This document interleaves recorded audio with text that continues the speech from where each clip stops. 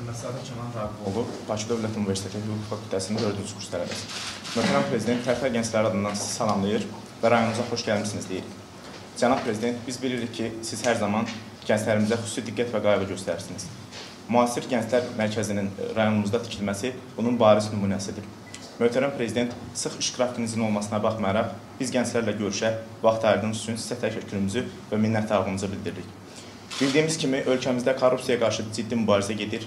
Ölkəmizdə aparılan quruculuq işlərinə, sosial-iqtisadi sahədə aparılan islahatlara, eləcə də Azərbaycan işgüzar nüfusuna xələl gətirən korrupsiya faktlarının aradan qaldırılmasında ciddi tədbirlər görülür.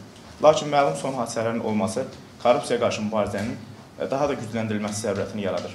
Bu haqda sizin fikrinizi bildirmək istəyirəm. Sağ ol, Ələş.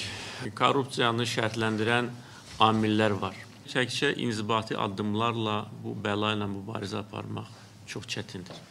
Çünki inzibati addımlar, cəza tədbirləri görülür, insanlar cəzalandırılır, həbs edilir.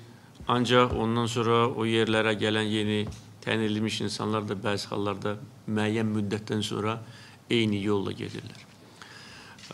Ona görə inzibati tədbirlər əlbəttə ki, davam etdiriləcək. Cəza tədbirləri daha da sərt olacaq.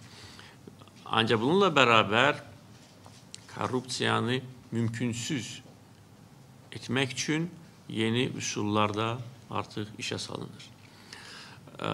Elektron hökumət, rabitə və texnologiya Nazirliyin xətti ilə tətbiq edilən yeni sistemlər, qeydiyyat məsələsi, indi yeni yaradılmış asan xidməti böyük dərəcədə bu korrupsiyanın qarşısını alacaqdır. Biz çalışırıq ki, şəffaflığı maksimum dərəcədə Azərbaycanda tətbiq edək və bu sahədə də uğurlara nail olmuşuq. Bizim Dövlət Neft Fondumuz dünya miqyasında ən şəffaf neft fondudur. Dünyada gedən bu istiqamətdə islahatlarda biz birinciyik və hasilat sənələrində şəffaflıq təşəbbüsünün birinci tam hüquqlu üzvü məhz Azərbaycandır.